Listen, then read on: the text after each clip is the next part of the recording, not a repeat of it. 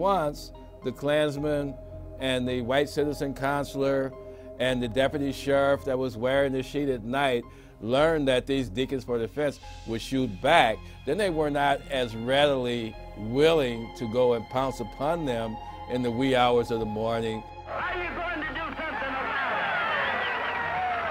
it? Because now they knew that, well, the right to bear arms is providing constitutional rights for these blacks, irrespective of the fact that we want to take away their civil rights. They're fighting on solid ground.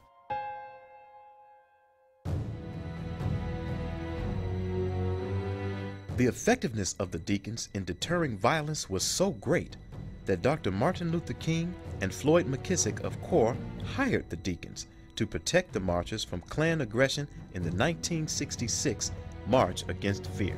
The very effect of armed resistance in the name of civil rights is what really casts a new enthusiasm into the civil rights movement at a critical time.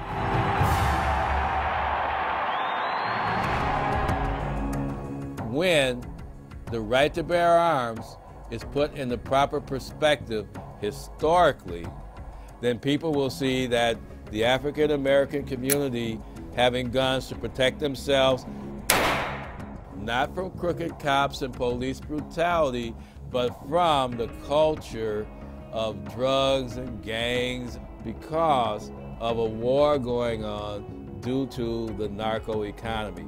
And so until we address why are these people armed? Why are they shooting? We're not going to be able to create an oasis of redevelopment in the inner cities of America.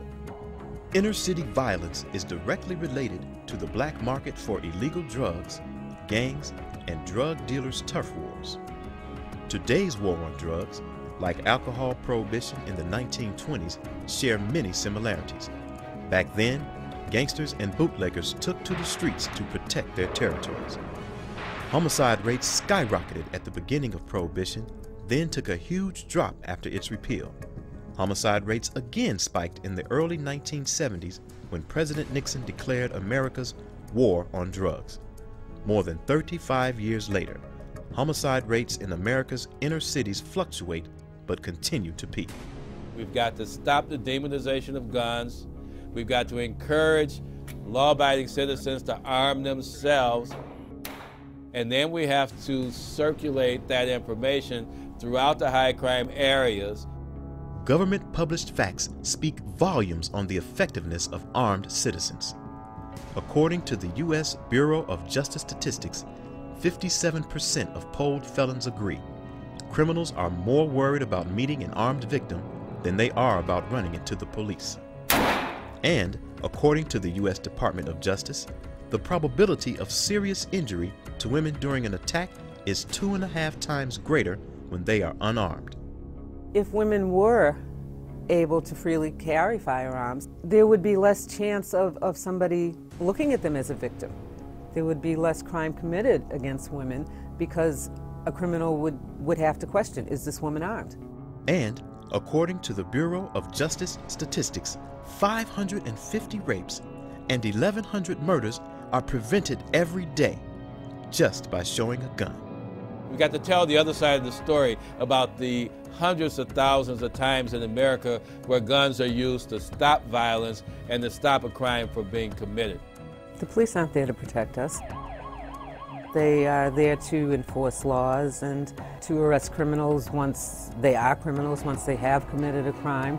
But they're not our personal bodyguards, so I have to do that for myself.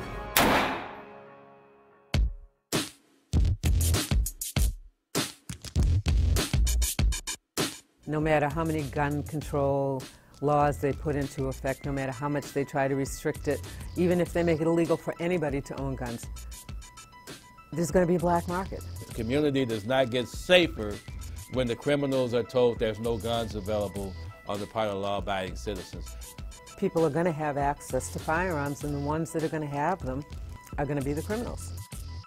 That's like an open season for crime. It's just like drugs are illegal, and it's a booming business.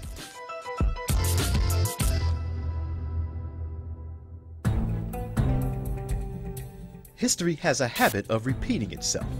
Now, as it was back then, politicians and community leaders wrongly claim less guns means less violence. Now, as it was back then, politicians and community leaders wrongly misguide the public in believing that the police and not the community can best provide protection, even though the Supreme Court has publicly stated that state and local governments do not have an obligation to protect citizens from criminal harm. Guns are a convenient target that disingenuous civil rights leaders and politicians hide behind because they don't want to address the real problem, which is why are all the black youth dropping out of high school and getting guns. Gun control advocate Sarah Brady, wife of James Brady, whose name is on the 1993 Brady Bill Violence Protection Act, purchased her own son a high powered rifle. I think they're misguided, and I think it's just it's a hot issue. We can always get a bunch of politicians. Well, here's the mayor, here's the alderman, here's the state rep, here's the state. Well, here's the president of the senate. Here's they'll always come out to a press conference where they can put on a shirt and a tie and insinuate that they're there to protect the children. It resonates with voters. It's something that's unquestionable in terms of its merit, and it's something that's patently wrong in terms of the gun control issue because gun control does not protect the children.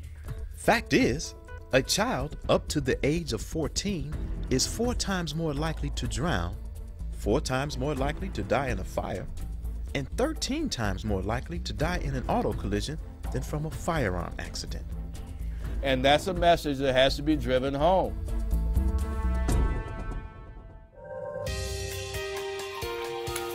What we've got to do is create a solidarity for gun owners that are across the political spectrum, across the racial spectrum. I think that it's high time that blacks, whites, all Americans of goodwill realize that the sacred right to self defense is at risk in America during the next four years in an Obama administration with Eric Holder going in as Attorney General. Why? Not because they're bad people, but because their philosophy is such that drying up the availability of guns will create greater safety. So I think that what we're looking for is not to be found with gun control, but can only be found when citizens take it upon themselves to protect themselves and their property.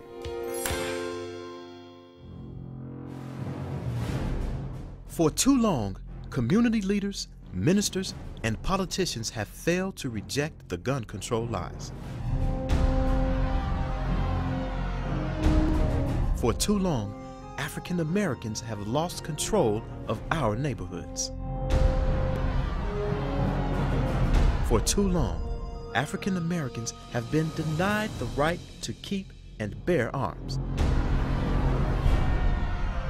For too long, African Americans have been victims of criminals, drug dealers, and dangerous gun control policy.